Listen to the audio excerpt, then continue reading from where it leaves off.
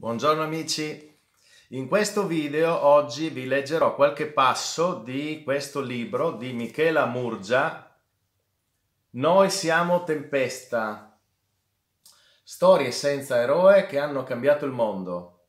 Eh, l'ho preso dalla mia libreria mm, eh, perché veramente ogni volta che lo riprendo e leggo qualche passo mi entusiasma e quindi ve lo consiglio. Eh, vediamo cosa c'è scritto qua, vediamo, c'è scritto l'unione fa la forza o chi fa da sé fa per tre.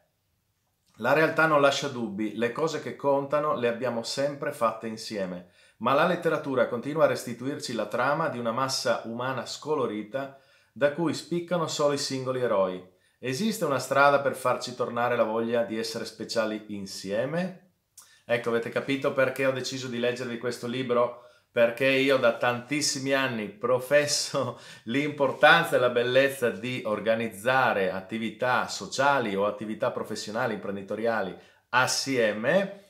Io stesso tante volte l'ho, testato, l'ho fatto a, a livello così personale o a livello professionale, per cui questo libro mi sta proprio a cuore. Michela Murgia, Michela Murgia, vediamo, è nata a Cabras, tradotto, è stata tradotta in tutto il mondo, ha esordito con Il mondo deve sapere, che ha ispirato il film di Paolo Virzi, Tutta la vita davanti, e ha scritto, tra le altre cose, il romanzo Accabadora, premio Campiello 2010.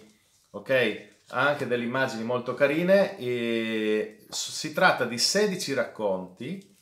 Eh, praticamente sono storie che l'autrice sono storie vere, pa- alcune sono storie vere, altre sono totalmente inventate. Quelle che sono storie vere, eh, di fatto lei conos- i dettagli non li conosceva di queste storie vere, ha cercato di ricostruirli in modo tale da contestualizzare al meglio il messaggio che poteva passare o che era corretto far passare rispetto alla dinamica del lavoriamo assieme, eh, organizziamoci assieme, perché assieme è possibile fare grandi cose anche senza eh, avere singoli eroi.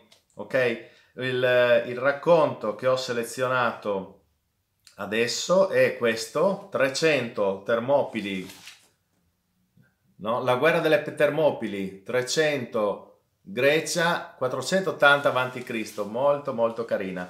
Leggo, passiamo subito alla lettura.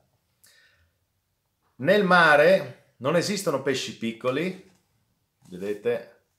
Vi faccio vedere perché sono delle belle immagini e quindi nel mare non esistono pesci piccoli, solo pesci disorganizzati e soli. Siamo qui alle Termopili. Siamo qui alle Termopili da ore e sappiamo che sarà una battaglia persa. Non c'è bisogno del divinatore che guardi nelle viscere degli animali per indovinare il nostro futuro.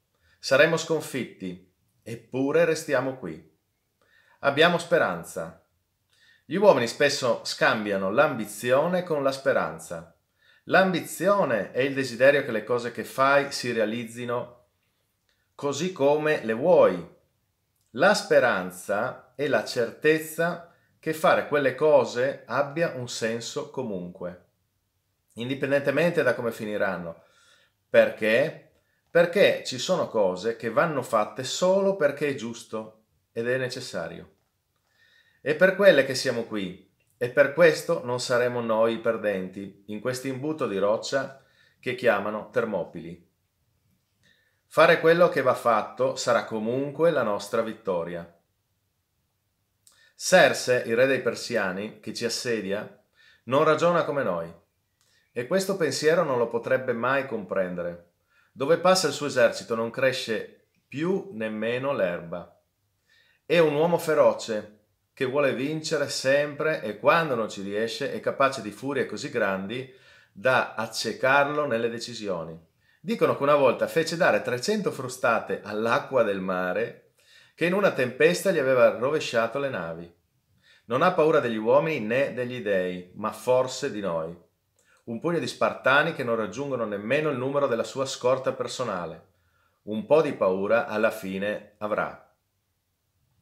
Intanto, intanto però è da due giorni che non capisce nemmeno cosa stiamo facendo. Crede che l'uomo che ci comanda, di cui ancora non sa il nome, sia un pazzo suicida che ci conduce alla morte senza senso. Nel corso degli anni lo hanno pensato in molti, poi però alla fine i morti li hanno contati soprattutto tra le loro file, mentre la maggioranza di noi tornava a casa dalle spose e dai figli. Leonida è il nome del nostro combattente, eppure quando eravamo ragazzi non ci sembrava lui, non ci sembrava lui quello giusto.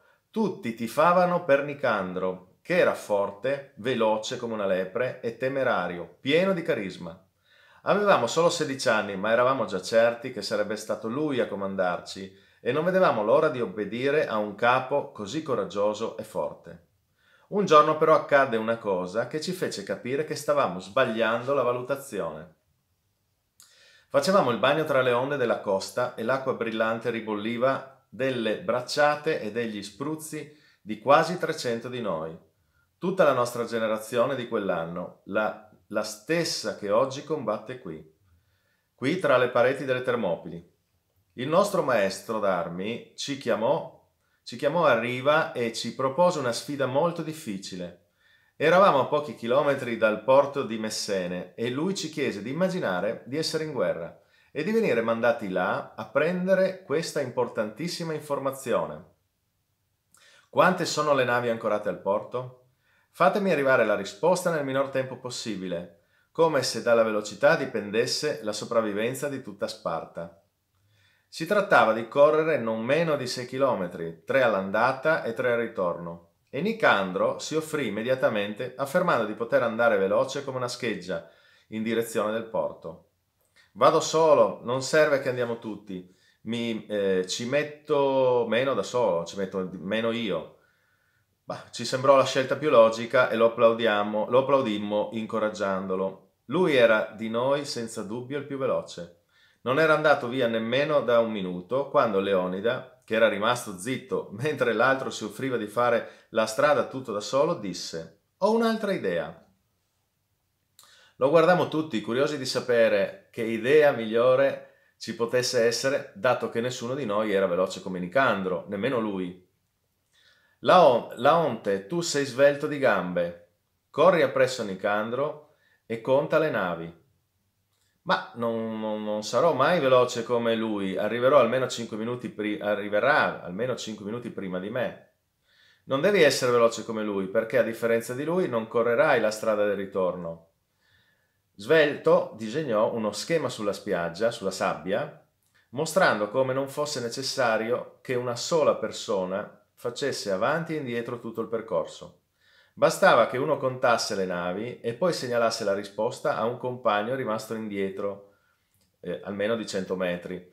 Lungo la linea di sabbia, Leonida ci dispose in modo che da ogni postazione vedessimo il compagno successivo.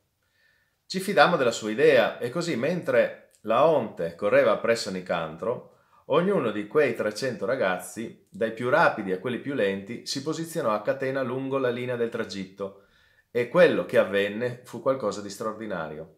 Laonte, come aveva predetto, riuscì a contare le navi almeno 5 minuti dopo che Nicandro era già partito, ripartito, ma l'informazione raccolta da lui, grazie al sistema ideato da Leonida, ci mise solo pochi minuti a tornare indietro.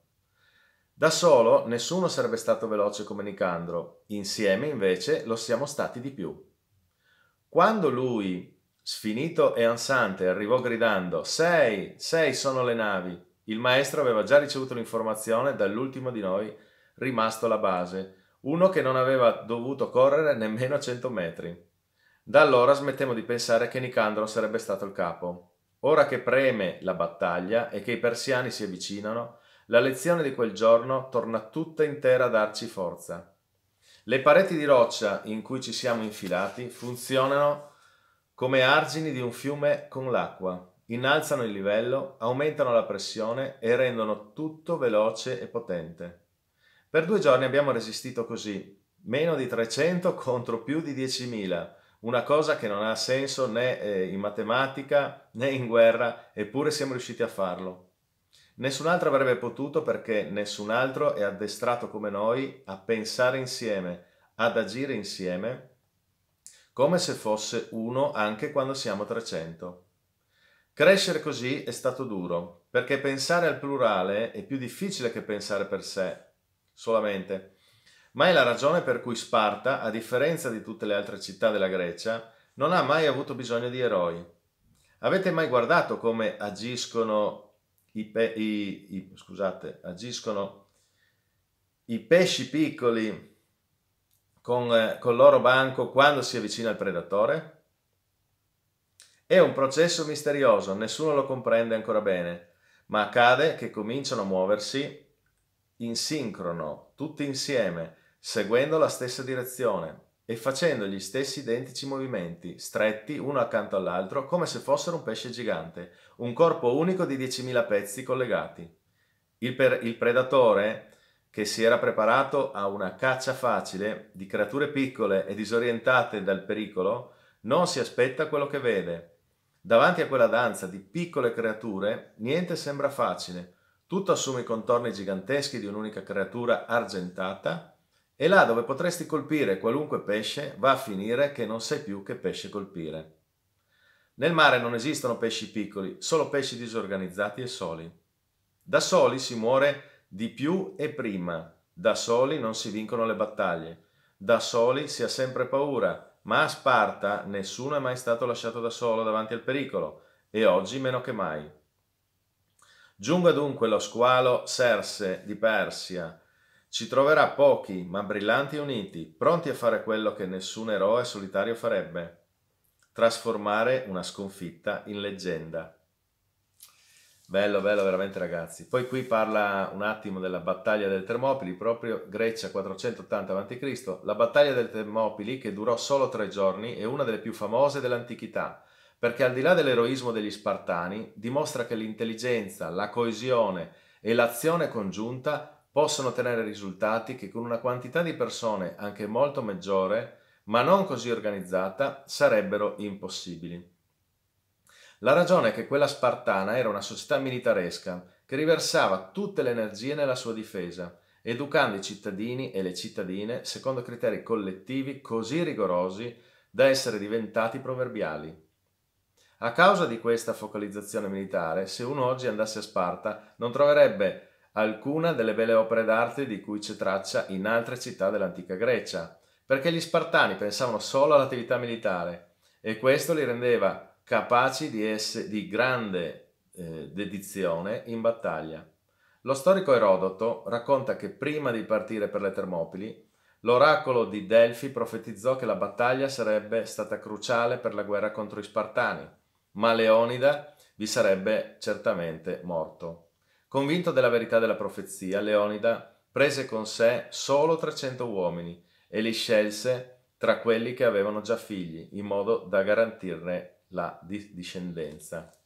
Ragazzi, è proprio bello questo racconto tratto da questo libro di Michela Murgia, Noi siamo tempesta, inteso come insieme di singole goccioline che però messe assieme possano creare appunto una tempesta e scatenare cose incredibili, inverosimili. Spero che questo racconto possa essere, eh, oltre che piaciuto, servito a eh, ragionamenti utili per la crescita personale o professionale. Ci vediamo al prossimo racconto.